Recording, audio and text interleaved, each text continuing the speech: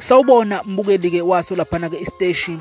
Yona-ke ishezi TV sikunxuse-ke mbukeli ukuthi ungakhohlwa-ke phela ukushaya usubscribe button ngezasikwayo-ke ividiyo uma kade-ke ungakaze wenze njalo ukuze ungaphuthelwa indaba esikuphathela zona.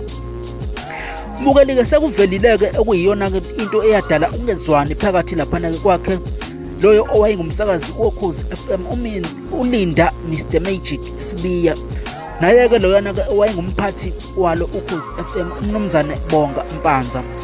Kuthiwa umpanza waboleka imali yokuthenga imoto kulinda nokuyimali-ke agcina engayibuyisanga. Lokho kuthiwa kwenza ukuthi ulinda angabe esaba muhle kahle lapha kuyena umpanza nokunezinsolo zokuthi ikona okwenza wangakwazi ukubuyela kukhozi FM ngemuva kokuphothulwa kwecala lakwa-edcon ulinda-ke waliwina icala njengoba-ke igama lakhe kuthiwa lagezeka ngawo unyaka laphana-ke u-2008 kuleli cala kodwa wangabuyiselwa emsebenzini. Kuthiwa inkantolo yayalela izikhulu zokhozi ukuthi zibuyisele ulinda emsebenzini. Nalapho-ke kuthiwa kwabhilita khona yena umpanza ala ukhasha ukuba ulinda abuyiselwe emsebenzini. Kanti-ke ngokucashunwa komthombo othembekile kulolu daba uchaze kanjena-ke kumele ulinda engabe usabuyiselwa emsakazweni kodwa akakabuyiselwa ngoba kukhona abasebenzisana nompanza ukwenza isiqiniseko sokuthi akabuyiselwa.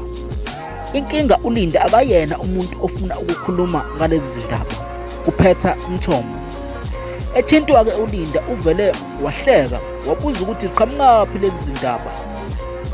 Ngicela nibuze yena umpanza ngikholwa ukuthi nguyena ongaba nezimpendulo mina angizikhulumi izinto engizenze nomuntu esingazidalulanga esihlanganaleni ngesikhathi sisazenza imibuzo eninayo ibhekiseni kumpanza kuphetha usibiya kanti-ke imizamo yokuthola yena umpanza ayiphumelelanga mbukeli njengoba ucingo lwakhe belukhala lungaphenduli kanti nemiyalezo-ke athunyelwe yona lapha kuwhatsapp kukhombisile ukuthi ivuliwe yafundwa kodwa akangaphendula kanti kuthintwa-ke yona i-sabc inqabile ukuphawula ngokungezwani kukasibiya nompanza kanti-ke ichaze yathi-ke okuphinde kuyinqinde amandla ukuthi-ke bobabili kabasayisebenzeli i-sabc yona-ke yangenelela ngalesiya sikhathi secala likasibiya nje ukubheka ukuziphatha kukasibiya kulolu daba njengoba ayisasebenzela yona i-sabc kanti-ke futhi yale yaphetha ukuphawula noma ukucacisa ukuthi kungani bengambuyiselile usibiya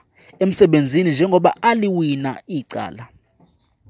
Mbukela-ke selibambe lapha lolu daba sikwethembise ukuthi-ke sizokuphathela nezinye ezihlabahlosile kanti-ke ungalayikha ukhomente noma-ke usilandele laphana-ke ey'nkundleni zokuxhumana. Kanti-ke ube nosuku oluhle-ke